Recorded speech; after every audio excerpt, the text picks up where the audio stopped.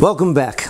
We've been learning about the Midah of Hishtavos, and now we want to try to see how it applies in a few very practical ways. The flip side of Hishtavos would be what's called Behala, panic. A person who is thrown by the situation and therefore is not able to think straight and therefore often makes wrong decisions. In the Hoshanas, one of the Hoshanas describes different plagues that can affect plants or different parasites, bugs, worms that can affect grain, vineyards. And it also has a line in there about people. And we call out Hoshana Nefesh Mi Behola. Save people from panic. Because when we panic, as when we make those wrong mistakes. That's when we lose our equilibrium. The very frightening aspect of the situation, or the fact that we're in a situation we didn't want to be in, makes us feel so lost and so endangered that we panic and oftentimes make mistakes. The midah of Hishtavos lets a person know that in whatever situation, HaKadosh Baruch Hu is there.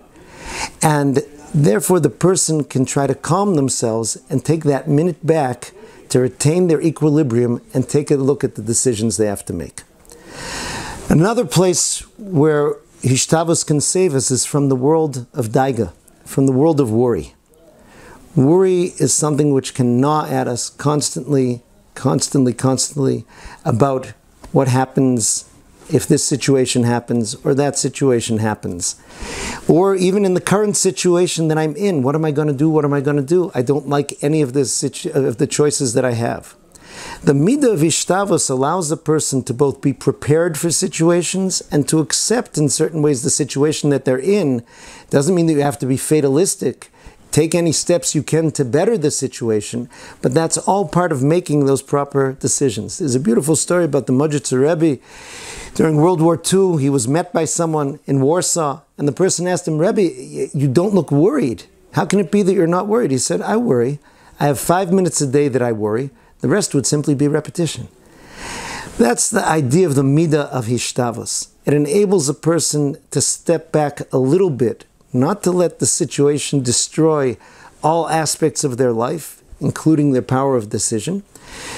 You will worry to the extent that you estimate accurately the dangers or the difficulties of the situation, and then you try to take your best steps and best choices in that situation.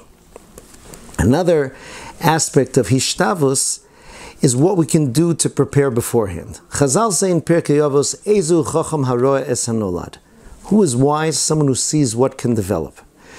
So Rabbi Avigdor Miller, in a piece he wrote about that Mishnah, said a person has to really use their imagination to anticipate different scenarios. Realize that HaKadosh Baruch Hu can send different situations into the world. It doesn't mean you should always be paranoid of terrible things happening, but realize that things could happen and plan out for yourself, actually visualize to yourself how would you react to it. You're going away for Shabbos and you missed the last bus. What would you do? Right? If you have a plan in your mind, you're getting together with people and someone there sometimes says something that you find annoying or hurtful. How would you like to react to that? Plan it out, see it.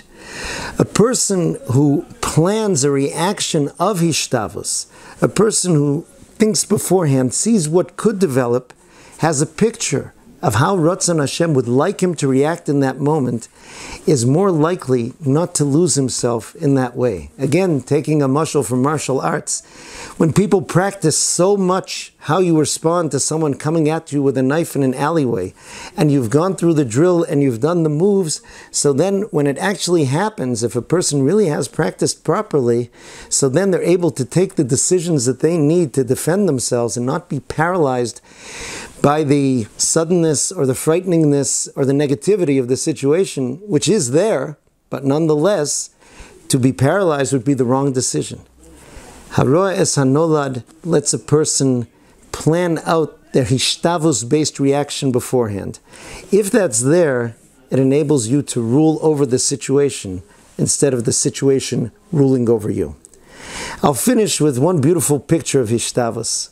There was an old man in Yerushalayim I was speaking with once about the famous Yerushalmi Tzaddik Rabbi Levin.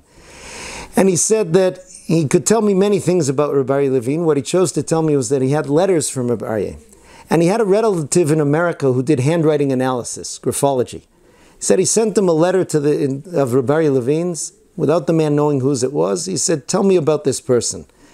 He said, My relative wrote back to me, he said, This man who wrote this letter is governed only by his conscious and not by his self conscious.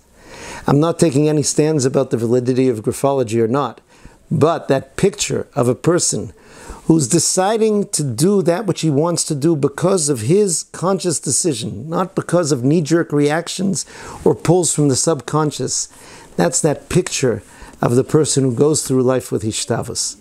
I'm not saying that it's easy, and it's something that we can really try to move up to in small incremental steps. But like all things, we should have before us that picture of that ideal, ideal person of Hishtavus that we would like to be, and hopefully we'll be able to move forward each day toward getting there. Hatzlacha.